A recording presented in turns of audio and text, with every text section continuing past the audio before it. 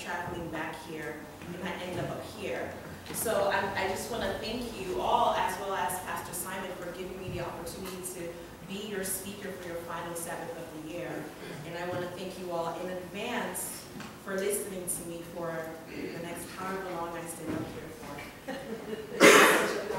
I, I am surprised, I have to say, at how slow 2019 has been, but also how fast 2019 has been. I felt like it started a little bit steady and slow, and then all of a sudden, it was 2019 is over, and it's time for 2020. And it's been a great year for me, I have to say. Um, of course, not without its challenges, but I've had an opportunity to really go into other um, hobbies and activities, and I like to call them more adult things that I do now. You know, I'm almost 30, so I, you know, it's downhill from here, I heard. Just kidding. Um, so one of the things I've been doing is I've been really leaning into series and Bible studies and meeting with women, um, young women, um, mixed generational groups studying themes from the Bible or going to youth study groups wherever they might be, wherever they might meet. And one of the um, small group series that I've been following is about the soul, the health of the soul. The series, in fact, is entitled, How is Your Soul? In this series, um, the lead pastor, Pastor Smith, Smith, he breaks down the duality of man's existence. You know, we're flesh and we're spirit, by focusing on, by focusing on the well-being of the soul. This idea that you can have it all on the outside, you can be okay in the flesh, but be lacking and small in the spirit. Um, I hear you can't hear me. Can you hear me now? You have Can you hear me now? Yes. Oh. Start over. Good morning. so, but going back to this idea of the soul, that you can have it all, I could have had a great year, but I need to make sure I'm taking time to check on my soul. So I thought to myself, let me ask myself this question. Liz, how is your soul? And I didn't like my answer. Um, it seems, or at least I found, that when I took some time to check on my soul, I've been in a state of restlessness or almost longing for a very long time now, and probably all of 2019. And I completely missed it because I was so focused on the other things that were checking off and working out well.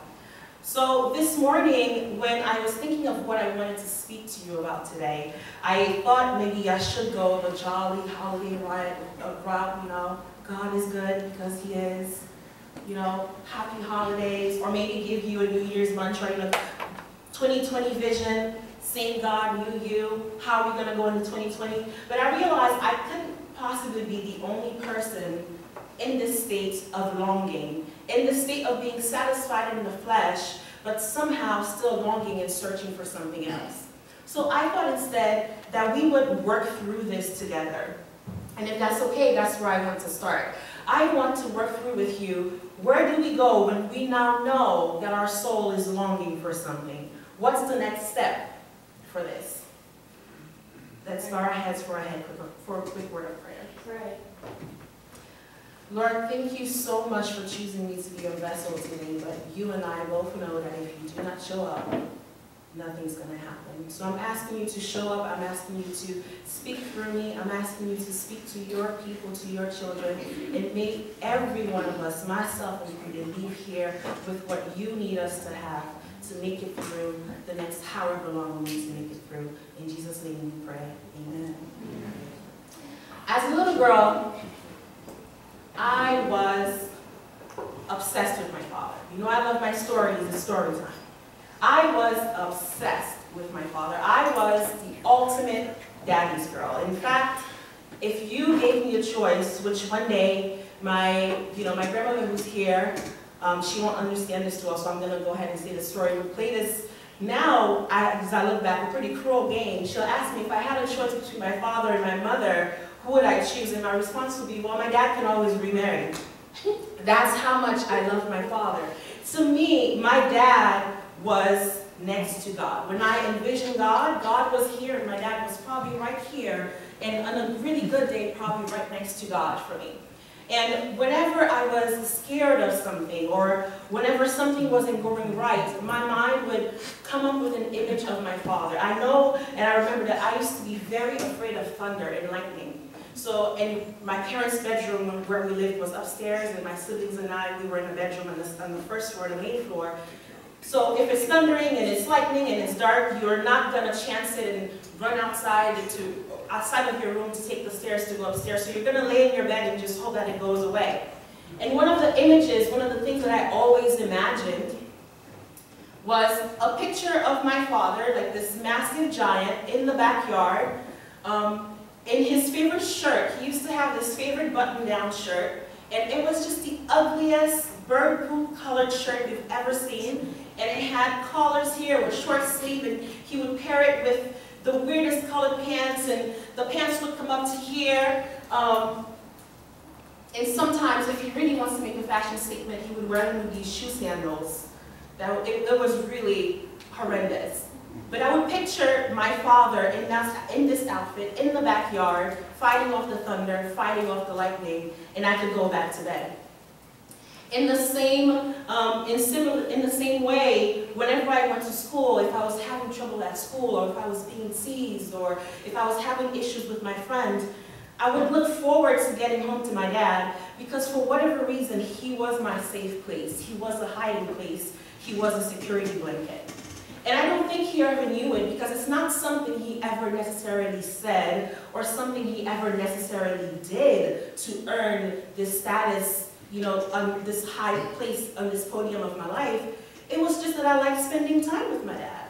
And being with him made everything okay. So he didn't need to know that he was doing it. It's just that as a child, that's where I always went. It renewed my strength to face another day, and I always knew that everything would be okay. As humans, we have this innate longing to return home, to unite with something, to merge, to belong, but the question always remains, with what?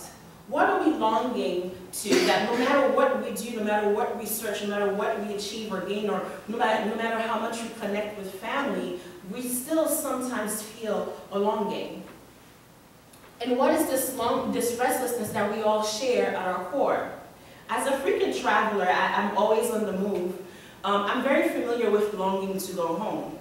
Um, but when I long to go home, my mind pictures my couch, it pictures my bed, it pictures my kitchen, and then it comes up with a plan. This is how we're gonna go home. Maybe I'm calling an Uber, maybe I'm getting on a train, maybe I'm getting on a plane. But my mind knows that this longing for home means she wants to go there and we're gonna get there. And the same thing happens if you're someone who's into success. The same thing happens if you're someone who's into family. Whatever it is that, that you want, if you want to be a nurse, your mind pictures you in scrubs, and then it says you need to go to school, study this, do this, and then you will be a nurse.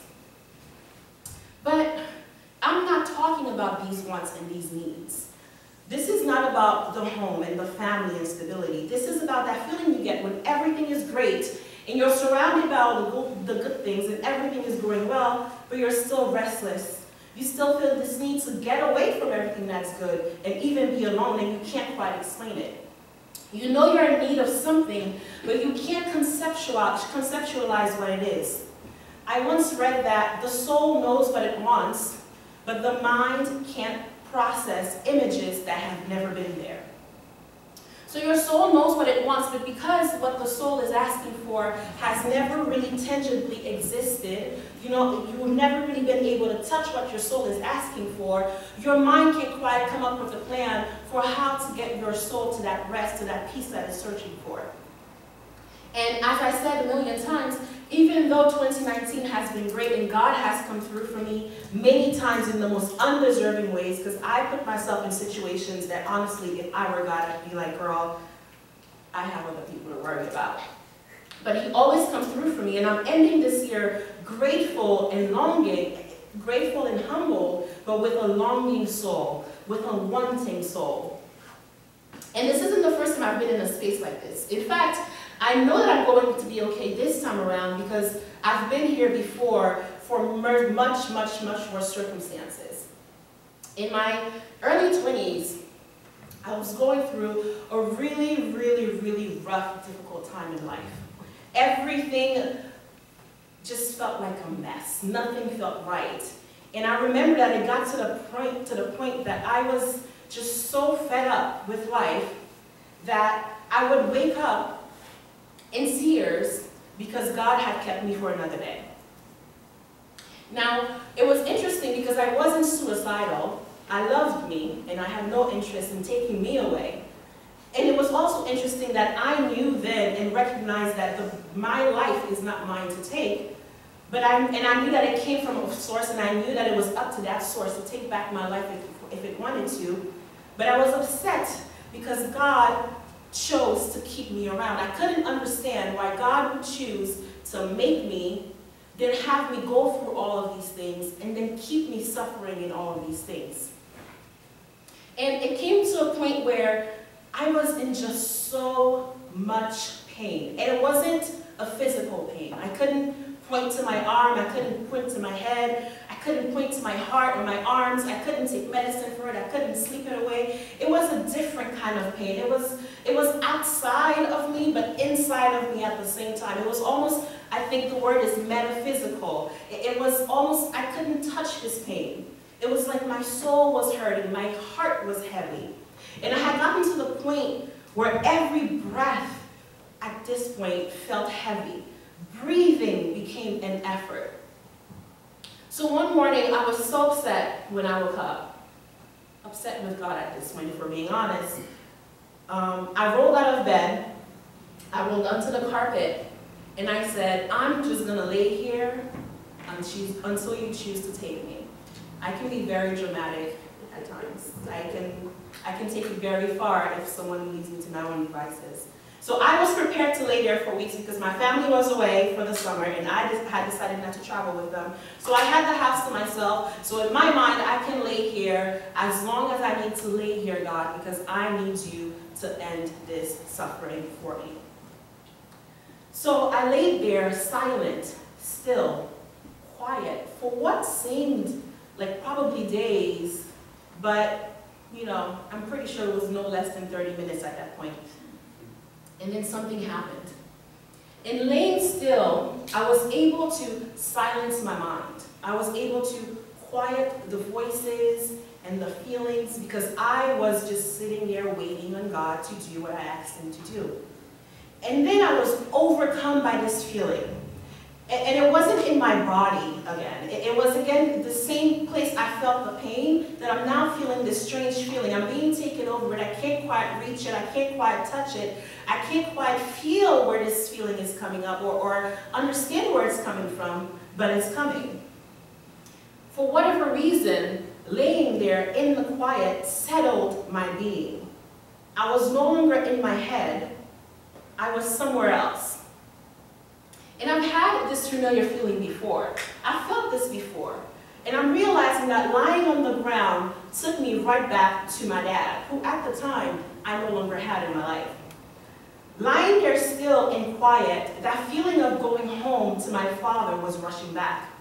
I had lost my mind or left my mind, actually lost my mind because if you're ready to lay and die, you have literally lost your mind. But in losing my mind, I had found my soul. I had reached to the core of my being and where everything I am starts and stems from. And it was as if someone pulled a blanket over my soul. I don't think I will ever be able to accurately and effectively ex express or explain this feeling.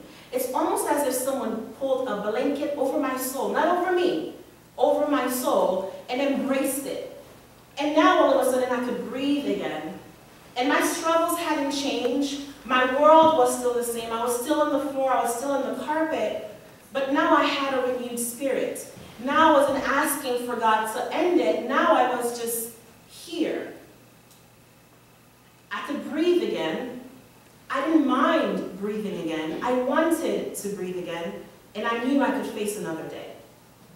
That moment changed my life, and it changed my life for two reasons. One, I realized that every time little Liz, that little girl, little Elizabeth, felt that she needed to be home with her earthly father, it was me responding to my soul's longing to be with the heavenly father. So I had been running home to God my entire life, and I didn't know it.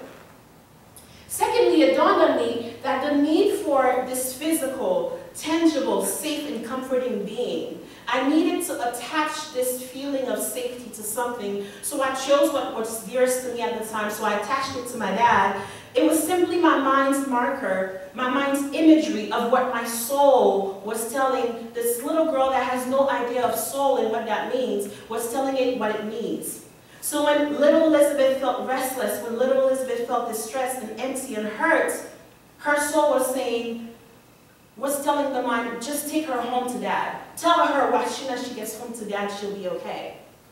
But now, I no longer needed a person. I no longer needed a marker because there on the ground, my soul had found another way home. Genesis tells us that God formed a man, just a man, a figure, from the dust of the ground and breathed into his nostrils the breath of life. And now a man became the man, became a living being. We are living moment by moment on the borrowed breath of God. That was God. Do it with me. Take a deep breath. God just allowed you to be here another moment. And it is literally that simple. It is literally that basic.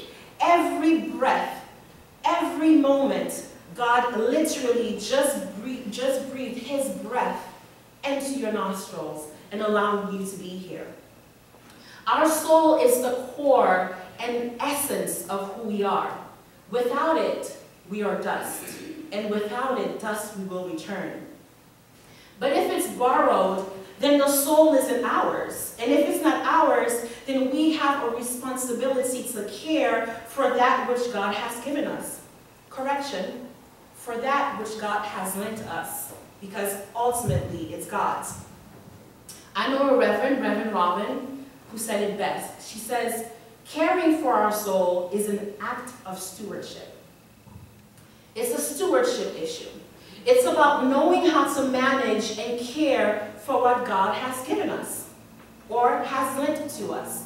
But how can you care for something when you don't know what it means or when you don't know when it needs it and you don't know how much of it it needs and it changes as you grow up and it changes as, as your life changes. How can you care for something like that? Because our minds can't imagine it and we have no marker for it, so we have no idea where to start or where to even recognize that there is a need. But the soul knows what it needs and lets us know through the longing. It lets us know through the restlessness. It lets us know through the hopelessness. It lets us know through that want to no longer be around or to no longer go on or to stop for a day that listen, this is not a body problem. This is not a family problem. This is not a social problem. This is not even a you problem. This is a soul problem. This is about your borrowed breath problem. And I need you to stop and listen. Our scripture reading, Psalms 42, verse 2, reads, My soul thirsts for God, for the living God. Where can I go and meet with God? Our soul is God's breath and is going to seek to be in harmony with the heartbeat of God. If we go a verse higher, it says, As the deer pants for water, so my soul pants for you, my God. To pant is to, is to breathe heavily, to gasp for air. So our souls are literally gasping to be with God at times. And just as I ran home in anticipation of being at peace and safe just in the presence of my Father, our souls can literally have us breathing heavy, gasping in everyday life, just so that we could take it to God. Because it needs to be with God. Reminding us that we are on borrowed breath. running on empty, and it needs to rest. It needs safety. It needs comfort with its God, with its creator, with its original source. In three days, we enter a new decade. Crazy to say. In three days, we enter a new decade. And we all have great hopes and great expectations for what the next 10 years will bring. But have you considered your soul? Have you planned for your soul? Have you sat down and thought about how you're going to care for this borrowed breath? I've been thinking of all the things I'm going to leave in 2019, and I've decided that my restless soul won't make it with me into 2020. In the perfect world, our souls wouldn't need to long or feel restless or be in despair for us to know that it needs something. But the world is imperfect, and we are human. So I hope instead that we will be good stewards of our souls and exercise spiritual discipline in responding to its call for restoration. In the past, restoration for my personal soul has been running home to a loving father. It's been a dramatic, probably too dramatic fall to the ground to just lay still. This last week, it was an invitation to spend time with a family who loves above all else, all else because that's what my soul needed. But for you, soul restoration may be entirely different. I was traveling home with someone um, last night. We were flying back to Jersey, and we were talking about this as I was preparing some notes. And he shared with me that for him, restoration, soul restoration, is when he's sitting at home and he's just looking back on everything that he has. Gratitude is where he finds God. But maybe for you, and this is because God has formed us all in different ways, and because we've all come to know him in different ways, and because we all have different markers for him, maybe for you, your soul's restoration is praise and worship. Maybe for you, it's an eat, pray, love journey where you just eat your best life in moderation. Maybe for you, it's taking the time to literally rest and literally sleep. Maybe you have been working tirelessly and you have never rested and slept. Or maybe you're an artist. Maybe you're a musician and you create beauty. Maybe you're athletic and it's in working out and sweating that you feel most at peace. However you connect to who God is to you, a loving father, maybe a nurturing mother, maybe a covering spirit, maybe a mix of both. In this new decade, I encourage you to be spiritually disciplined in stewarding your borrowed breath back to the heartbeat of God. Amen. Happy Sabbath and happy new decade. Amen. Amen. The deer